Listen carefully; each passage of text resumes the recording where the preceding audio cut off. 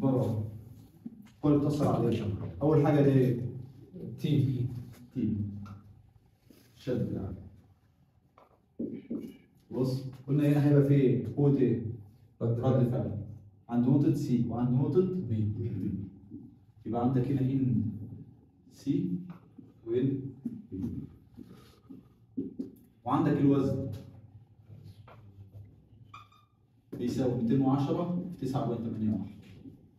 خلاص كده الطول كله قلنا كام؟ 7 ونص يبقى ده كام؟ يبقى 375 ماشي من أول هنا لحد ده كان خمسة شيل منهم 375 يبقى لك كام؟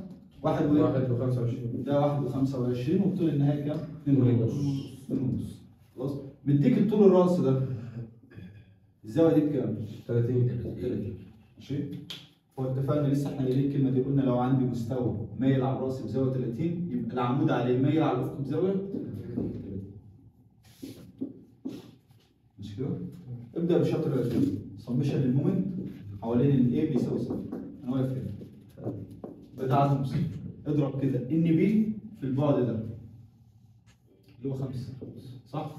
بيدور معه ولا العكس؟ معه يبقى سالب N B خمسة. سالب N C سبعة ونص سبعة ونص. طب والوزن ده؟ لو أنا طلعت كده.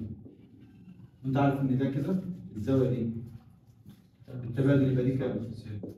30 وده 375 بس يبقى ده أنا عبارة عن قدامي 3 بقت 75 sine sine ال 30 الدور مع عقرب الساعة يبقى سالب 210 9.81 sine ال 30 sine 30 3.75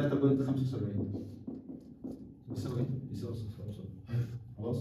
المعادله دي هتطلعها دي المعادله دي رقم واحد. عدد الطرف اللي هناك وهو معادله N B وان وان سي تعالى بقى نمسك ده. تقدر تحل مركبتين. المركبه هنا عبارة عن N C cosine والرأسي N C sine 30 ده كده عبارة عن N B cosine 30 هنا N B N B sine 30 جمع سمشن قوة في اتجاه ال X بيساوي صفر. سالب N C cosine 30 ناقص N B cosine 30 بيساوي بيساوي صفر دي المعادله الثانية حل المعادله الاولى مع الثانية لأن مجهول فيها مين؟ خلاص بس لو هتحلها على الاله الحاسبه لازم N B تحتها N B و N C تحتها N C طلع N B بقت معلومه وطلع N C خلاص سمشن قوة في اتجاه ال Y بيساوي صفر هيبقى عندك نقطه بكام؟ موجب T. موجب T. ناقص N B. sine. 30 ناقص N C. sine. 30 30 ناقص 210 في 9.8 إيه؟ بيساوي إيه؟ بيساوي صفر. N B عندك. و N C عندك. طلع من مين؟ فكرة المسألة